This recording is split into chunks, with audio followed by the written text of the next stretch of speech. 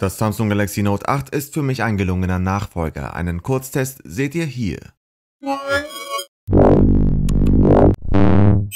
Im Inneren der Box befindet sich das Note 8 gemeinsam mit dem S Pen, ein USB-C-Kabel, ein Netzteil für Adaptive Fast Charging, so einiges an Literatur als Abendlektüre, ein SIM-Tool und auch In-Ear-Kopfhörer mit AKG-Branding, aufgrund der Kooperation beider Firmen.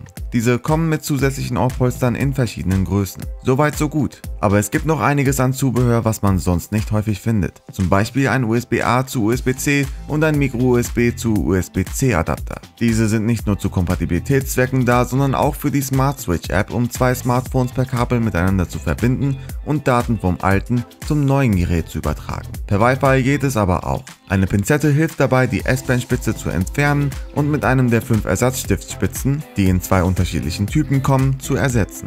Der Rest ist Verpackungsmaterial. Das Samsung Galaxy Note 8 kommt mit einer Dual OIS Dual Kamera. Die Kamera ist super und Samsung baut die besten Point-and-Shoots. Wie bei fast allen Smartphones sind Fotos bei gutem Licht beeindruckend. HDR funktioniert gut und ist natürlich. Herausfordernde Gegenlichtaufnahmen sind detailreich. Die Qualität beider Sensoren ist gleichwertig. Hier sieht man ohne Zoom, den zweifachen, fünffachen und zehnfachen Zoom, welcher besser ist als bei den meisten Geräten. Live Focus lässt euch die Unschärfe auch nach dem Foto einstellen. Auf dem Gerät selbst sieht es gut aus, aber am PC ist es etwas anders. Es führt zu weniger Details und schlimmer wird es im Lowlight. Das ist nur wichtig, wenn ihr die Bilder ausdrucken wollt. Die Farbe Rot ist oft auch etwas übersättigt. Wenn man sich mit dem manuellen Modus Zeit nimmt, kann man super Nachtaufnahmen erreichen. Ein bisschen enttäuscht sind wir von der Selfie-Kamera. Die Leute in der ersten Reihe sehen zwar gut aus, aber die Leute in der zweiten Reihe sind oft nicht im Fokus. Für einen tiefen Schärfeffekt ist das super, aber nichts, wenn alle im Foto gut aussehen wollen.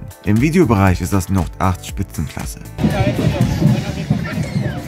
Insgesamt bekommt das Note 8 Top-Bewertungen für den schnellen Dual-Pixel Autofokus, superschnelle Verschlusszeit und die Fähigkeit, tolle Fotos mit wenig Aufwand aufzunehmen. Der Fingerprint-Sensor ist für Rechtshänder leichter ertastbar und der Tausch von Kamera- und Pulsmesserposition schont die Kamera vor Fingerabdrücken. Der S-Pen wird im Gehäuse untergebracht. Dieser verleitet einen wirklich dazu, produktiv und kreativ zu sein. Hier zeige ich euch einige interessante Funktionen. Man kann jetzt nicht nur auf dem Always-On-Display Notizen erstellen, sondern bearbeiten. Bis zu 100 Seiten lassen sich erstellen und abspeichern. Diese kann man auch auf dem Always-On-Display für Erinnerungen anpinnen oder später daran weiterarbeiten.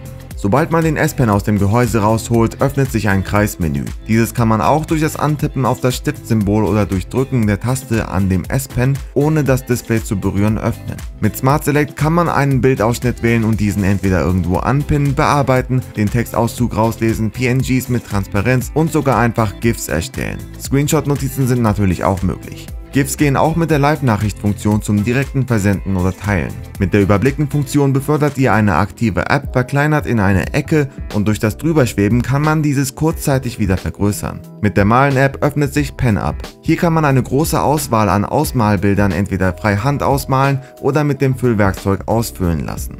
Die Übersetzen-Funktion lässt euch zwei Sprachen auswählen und durch das Schweben über Wörter diese live übersetzen. Eine Internetverbindung wird vorausgesetzt. Das waren einige ausgewählte Funktionen. Natürlich war das noch nicht alles. Das 6,3 Zoll Super AMOLED Display im Kinoformat lässt das Note 8 wie ein 5,5 Zoll Gerät auf der Hand wirken. Es ist wunderschön mit satten Farben, tollem Kontrast und super Reaktionszeit. Bei Fotos muss man nur aufpassen, dass diese auf anderen Displays etwas anders aussehen. Die Performance ist weiterhin eine der besten und das Note 8 bewältigt jede Aufgabe und jedes Spiel. Mit 6 GB RAM ist es dabei relativ zukunftssicher. Die 64 GB Speicher sind erweiterbar, wobei man in der Duos-Version zwischen zweiter SIM und MicroSD entscheiden muss. Der Akku ist mit 3300 mAh kleiner geraten als beim S8 Plus. Der durchschnittliche Nutzer kommt gut durch den Tag und auch bei intensiver Nutzung erreicht man relativ gute Werte. Bis auf den kleineren Akku ist das Note 8 für mich eine perfektere Version des S8 Plus und Note 7. Und mir persönlich gefällt gefällt es wirklich sehr, weil man sehr gut damit arbeiten kann und weil es für mich eines der schönsten Geräte ist. Falls euch das Video gefallen hat, gebt uns ein Like, ansonsten ist der Dislike-Button direkt daneben. Abonniert auch den Kanal, damit ihr in Zukunft nichts mehr verpasst. Vielen Dank fürs Zusehen, mein Name ist Ümit für Mobile Geeks.